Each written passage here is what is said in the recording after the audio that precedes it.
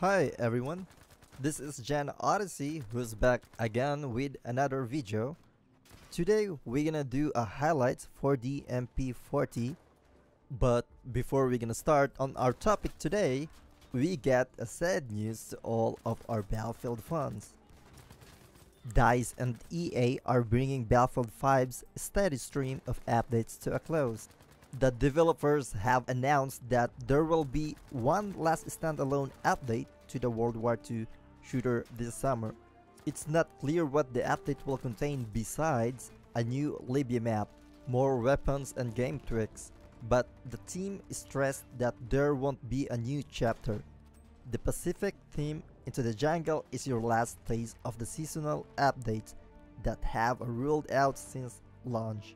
After that, the focus will shift to weekly activities and events, as well as weekly rewards that give you an opportunity to unlock previously available gear. The update is tentatively slated for June, although DICE warned that having to work from home during the pandemic could alter the timing. Whenever the release arrives, it marked the end to major development for a game that in some ways serve as experiment for EA both for farways into genres like Battle Royale as well as a shift toward game as live services.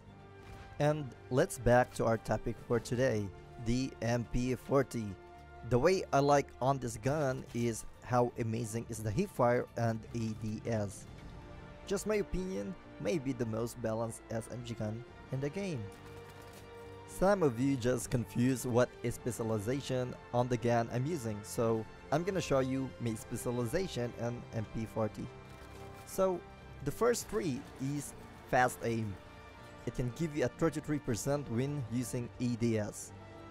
Second tree is ported barrel. Weapon recoils have less horizontal. Third tree is barrel bedding.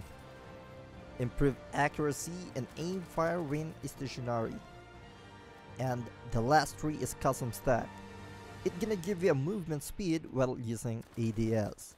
This is all the highlights on the gun and let me know on the comment below what gun you want me to use or what do you like on our future content. I try my best to make it for everybody.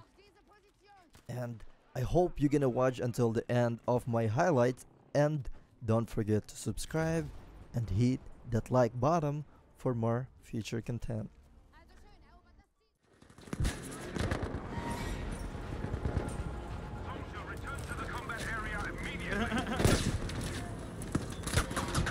Off, bro?